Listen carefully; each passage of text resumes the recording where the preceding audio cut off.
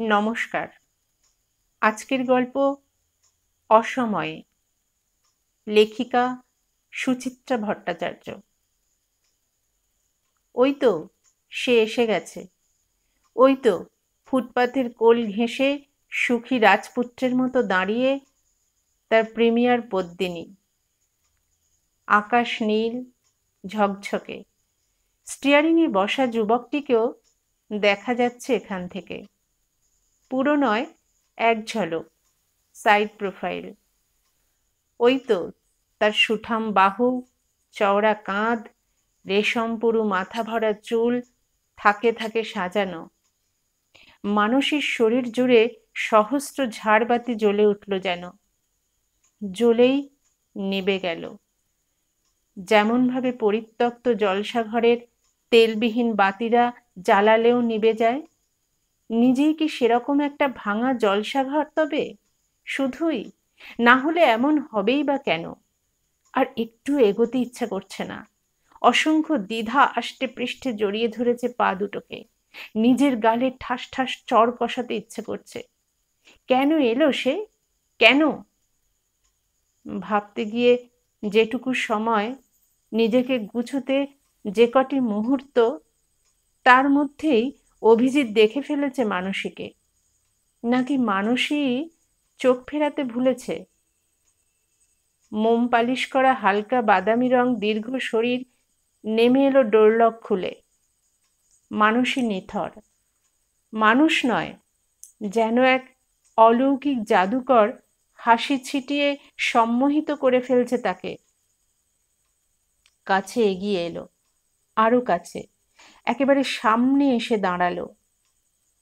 আরে, আপনি এসে গেছেন? কতক্ষণ? দেখতে পাইনি তো?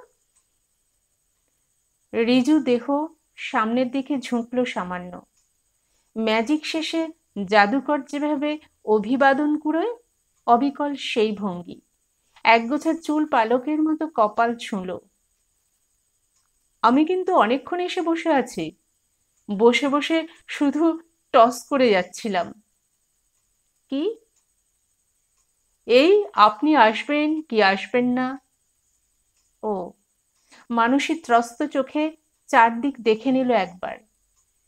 একটু গুছিয়েও নিল নিজেকে। নাও আসতে পারতাম, সংসার থেকে সময় বার করা যে কি কঠিন। রাইট।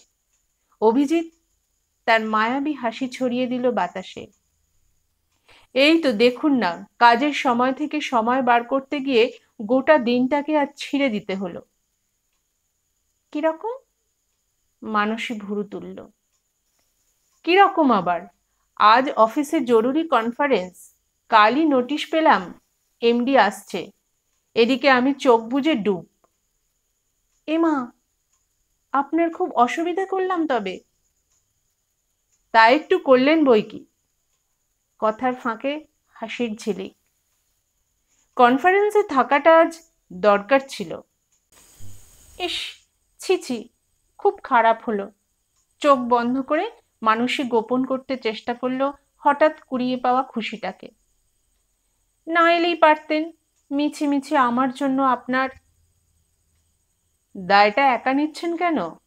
যাওয়ার ইচ্ছেটা তো আমারও আছে।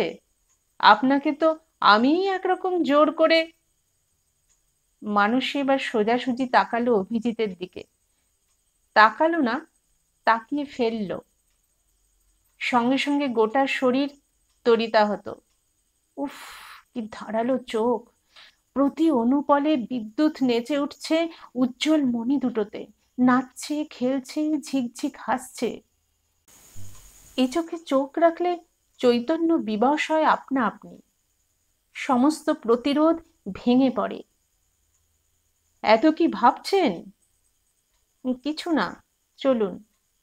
মানুষই টের পেল তার তিনটে শব্দই কেমন দুলে উঠল, নিজের অজান্তেই। গালের খাঁজে ছড়িয়ে গেল যুবতী লজ্জা। কেন এমন হচ্ছে এই বয়সেও? আশ্চর্য, তবে কি ভালো লাগার মুহূর্তগুলোর কোনো বয়স থাকে না? নাকি তারা এরকমই বেহায়া, রীতিনীতিহীন উল্টোপাল্টা স্রোতের মতো। প্রাণপণে নিজেকে শাসন করার চেষ্টা করল। অনেক হয়েছে, আজ শেষ। আজই ইতি টানতে হবে এই বেয়ারা পরিচ্ছেদের। গাড়ি স্টার্ট নেবার পর জানালার বাইরে মুখ বাড়ালো মানুষই একটু আগেও বাসন্তী রং মেখে টাটকা ফুটেছিল সকালটা। এখন ক্রমে ঘন হচ্ছে রোদ। চৈত্রের দুপুর, কিছু পরেই ছড়িয়ে পড়বে নিজস্ব দাপটে। বাতাস হবে রুক্ষতর, এলোমেলো। বাটিক প্রিন্ট সিল্ক শাড়ির আঁচল তুলে মানুষে মুখ মুছল ভালো করে। ঝুড়ো চুল সরালো কপাল থেকে। আর চোখে বার কয়েক তাকালো পাশে বসা সুদর্শন যুবকটির দিকে।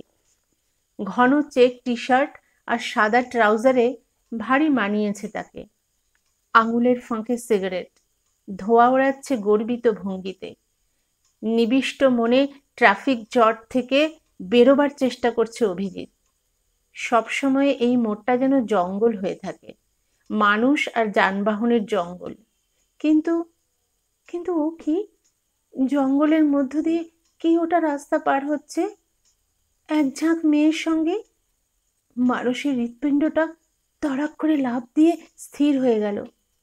লাইলি না কি কাণ্ড? মেয়েটা এখন এখানে কি করে এলো?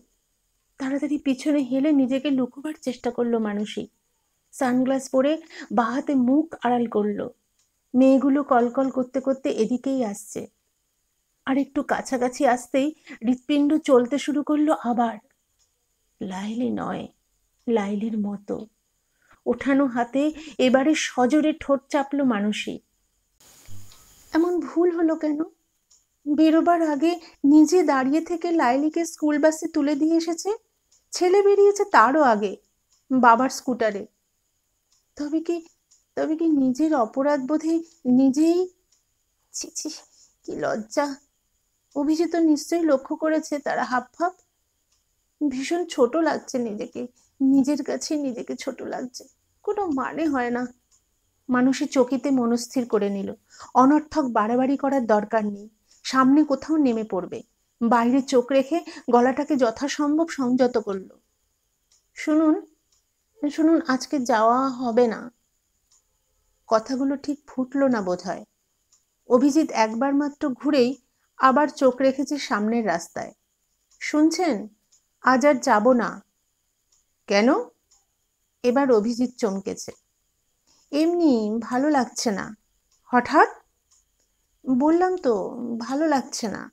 আমাকে সামনে নামিয়ে দিন। মানুষের স্বরে বিরক্তি। বিরক্তি নিজের ওপরেই। গাড়ি থামল না। উল্টে গতি বাড়ল আরও। বাস, মিনিবাস, গাড়ি, ট্যাক্সি সবাইকে টপকে এগিয়ে চলেছে। লম্বা ব্রিজ পার হলো। কি হলো? থামান? মানুষ এবার সত্যি সত্যি অস্থির। অভিজিৎ ব্রেকে পা রাখল। বেশ কিছুটা এগিয়ে থামলো একবারে। সত্যিই যাবেন না? অভিজিতের চোখে বিস্ময়। ঠোঁট কামড়ে নিঃশ্বাস চাপল মানুষই কি হলো হঠাৎ? মানুষই দুদিকে মাথা নাড়ল। কোনো অপরাধ করলাম? আবার দুদিকে মাথা নাড়ল। আমার উপর রাগ করছেন? না আমাকে বলা যায় না কি হয়েছে? মানুষের চোখ দুটো জ্বালা জ্বালা করছে। না তাকিয়েও টের পাচ্ছে অদৃশ্য জাদু দণ্ডটা আবার তার চেতনাকে অবশ করতে এগিয়ে আসছে। কিছুতেই নিজের মুঠোয় নিজেকে ধরে রাখা যাচ্ছে না। অভিজিতের স্বরের ধাক্কায় ভেঙে পড়ছে অশক্ত পাঁচিল। দৃষ্টির তাপে পুড়ে যাচ্ছে জাগতিক সংস্কার। স্টার্ট দিই তাহলে? অভিজিৎ বাহাতে গিয়ার তুলল। চাপ দিল অ্যাক্সিলেটারে এই রাস্তা দিয়েই সোজা যেতে হবে তো? হুম। বহু কষ্টে ধ্বনিটুকু বার হলো মাত্র। অভিজিৎ হাসছে নরম করে। শুধু হু না, কথা বলুন। এতটা লম্বা রাস্তা কথা ছাড়া যাওয়া যায় নাকি? মানুষে চুপ। চেষ্টা করেও সহজ হতে পারছে না কিছুতেই। নিজেকে ভয়, নিজের কণ্ঠকে ভয়, কথা বললেই বুঝি ধরা পড়ে যাবে। সে ভারী লজ্জার ব্যাপার। হাত বাড়িয়ে সামনের কাজটা মুছল অকারণে। মনে জোর এনে কেন যে নেমে যেতে পারল না, কাচের গায়ে আবার আঙুল বসালো। অভিজিৎ সিগারেট ধরালো। আপনাকে দেখে কিন্তু বোঝাই যায় না, আপনি এত মুডি। মানুষই সিটে হেলান দিল। দিদির বাড়িতে প্রথম দিন দেখে আপনাকে কিন্তু একদম অন্যরকম মনে হয়েছিল। অন্যরকম? কীরকম? শত চেষ্টা করেও কিছুতেই প্রশ্নটা উচ্চারণ করতে পারল না মানুষই গলা জুড়ে চাপ, মেঘ জমা হয়ে গেছে কখন? নিজেকে বোঝাতে চাওয়ার থেকেও না বুঝতে দেওয়ার কষ্ট অনেক বেশি। তার জন্য যে ভয়ানক যুদ্ধ চালিয়ে যেতে হয় নিজের সঙ্গে, নিরন্তর জবাবদিহি করতে হয় নিজের কাছেই, কেন এমন হয়? ভরাট শান্ত, দিঘির মতো টলটলে সুখী সংসার তার।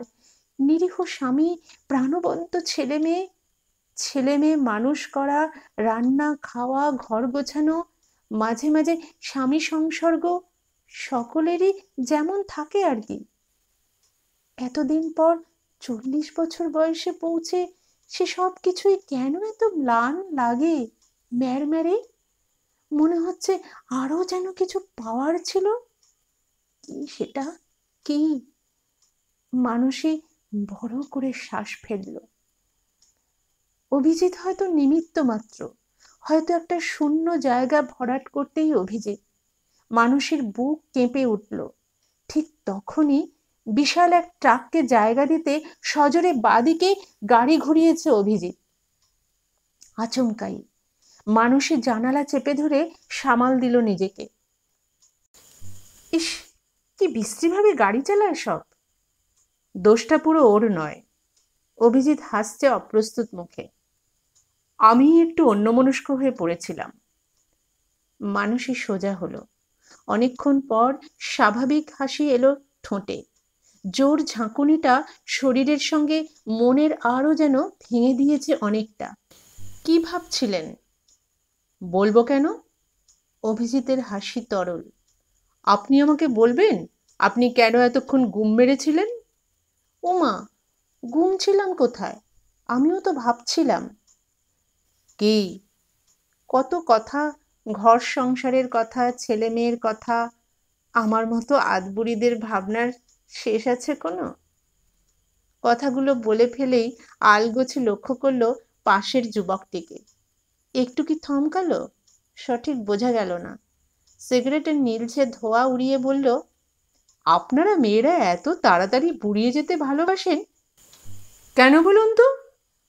বাহ, বয়স হচ্ছে বুড়ি হব না। আমার বয়সে পৌঁছলে আপনিও? সরি, মানতে পারলাম না। অভিজিৎ স্টিয়ারিং সামান্য ঘোরালো। বয়স বাড়ে শরীরের শরীরের কিছু সেলের মন ক্যান স্টে এভার ইয়াং।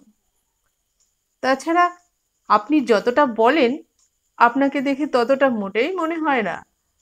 আপনি আপনি, ইউ লুক কোয়াইট ইয়াং। কথাটায় স্তুতি আছে কি কোনো? নাকি কোনো হারানো রং? অথবা অদৃশ্য ফুলের গন্ধ? অভিজিতের কথার সবটুকু রূপ, গন্ধ মনে মেখে নিল মানুষই মুখে অবশ্য বলল সে আপনার চোখের দোষ। বলেই জানলার বাইরে চোখ ফেলল। তারপর দুম করে অসংলগ্ন প্রশ্ন করে বসল একটা, আমার কর্তাকে আপনার কেমন লাগে? একটু যেন হোঁচট খেলো অভিজিৎ, সামলে নিল পরক্ষণে ভালোই তো, বেশ ভালো, স্মার্ট, ভালো চাকরি বাকরি করেন, অ্যাম্বিসাস, বাড়ির সবার ওপর যথেষ্ট অ্যাফেকশন আছে বলে মনে হয়। হুম। রাস্তার দুধারে পার্থেনিয়ামের ঝোপ, সেদিকে তাকিয়ে থাকতে থাকতে চোখ থেকে সানগ্লাস নামালো মানুষই ওই বয়সের পুরুষেরা মোটামুটি সব একই রকম হয়। আপনার ভালো লাগে না? কি জানি, লাগে হয়তো। মানুষের স্বর উদাস। আবার একটা গাড়িকে পাশ দিতে স্পিড কমিয়েছে অভিজিৎ। তারপর হাওয়ার সঙ্গে গতি বাড়িয়েছে।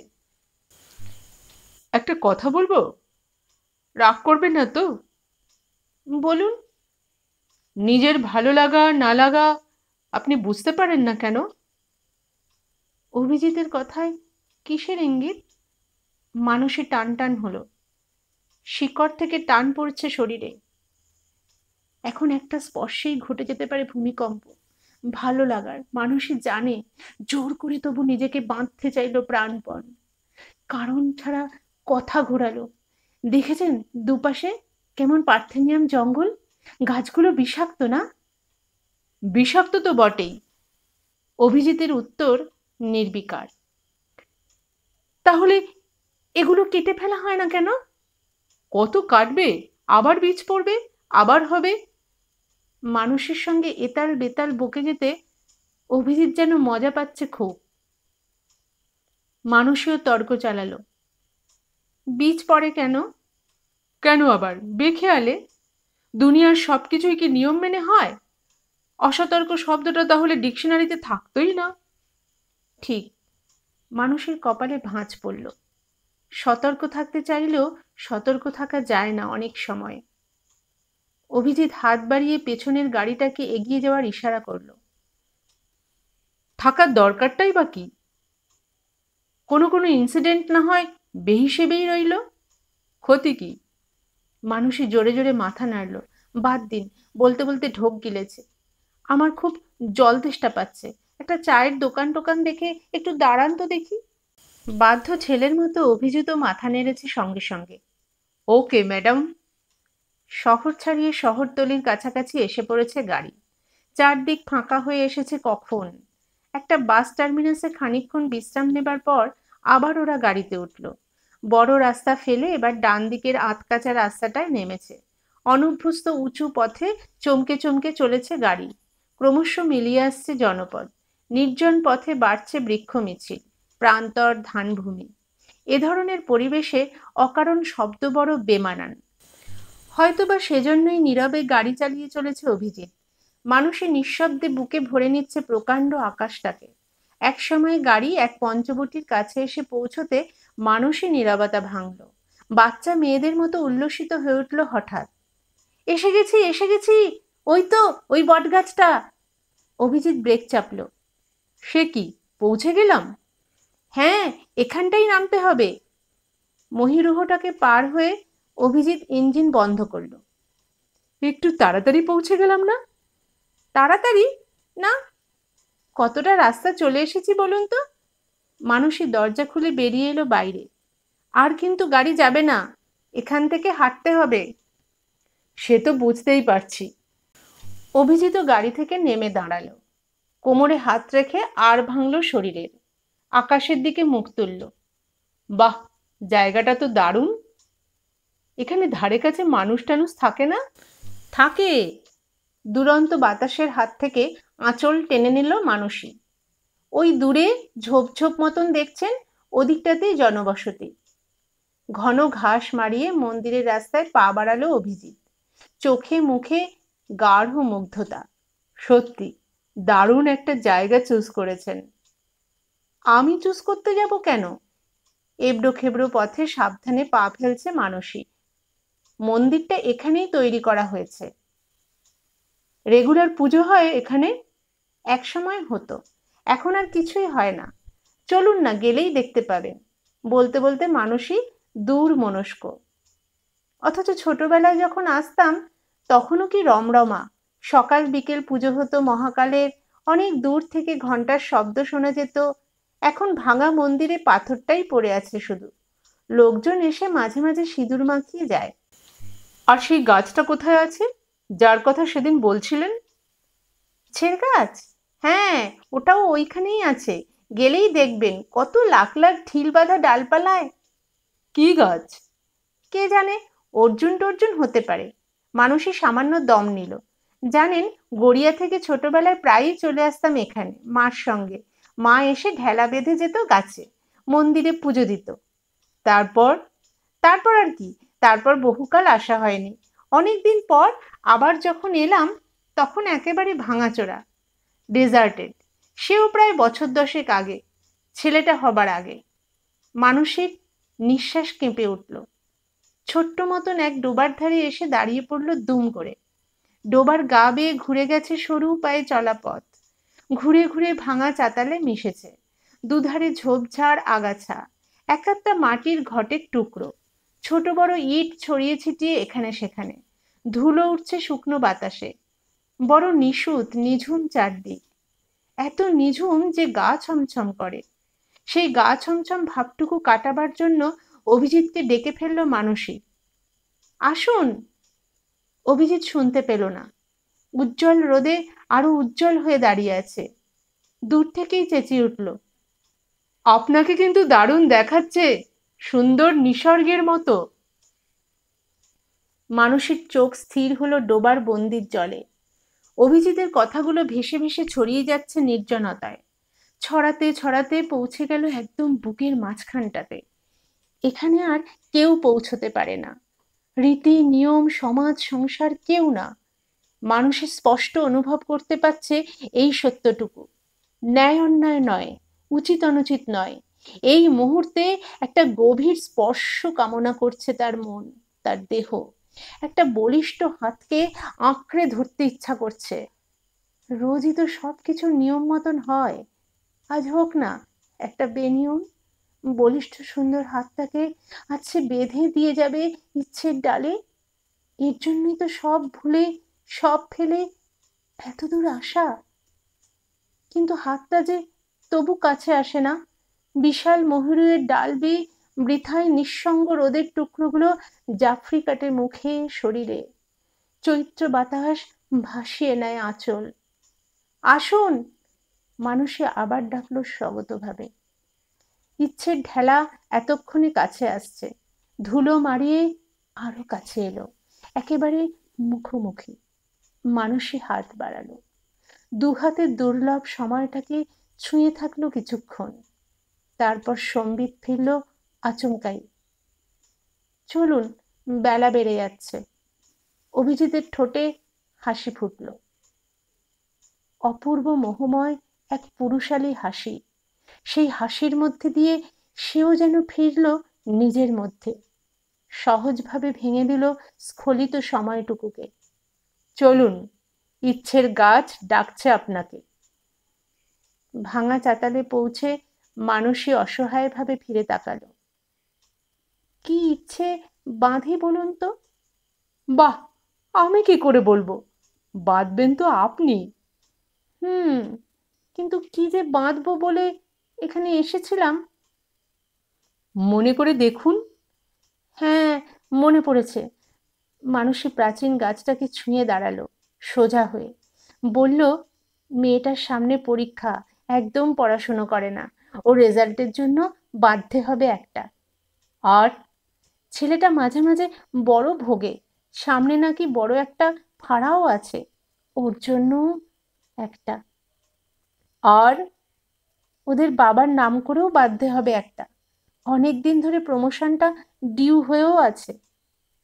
আর হার কি? এই তো এখন চাওয়া। মানুষের নিঃশ্বাস থর আবার কাছে এলো অভিজিৎ। হাত রাখল মানুষের কাঁধে। নিবিড় স্বরে বলল, নিজের জন্য বাঁধবেন না। মানুষই উত্তর দিল না। আলতো করে প্রিয় হাতটাকে নামিয়ে দিল কাঁধ থেকে। ঘুরে দাঁড়িয়ে বলল এখন আর সে ইচ্ছে বাধ্যে নেই। মনে মনে বলল, বেঁধেছি, মৃত্যু। এমন অসম্ভব সুন্দর মুহূর্তগুলোকে ছুঁয়ে ফেলার পর মরে যাওয়া ছাড়া আর কি চাওয়ার বাকি থাকে মানুষের?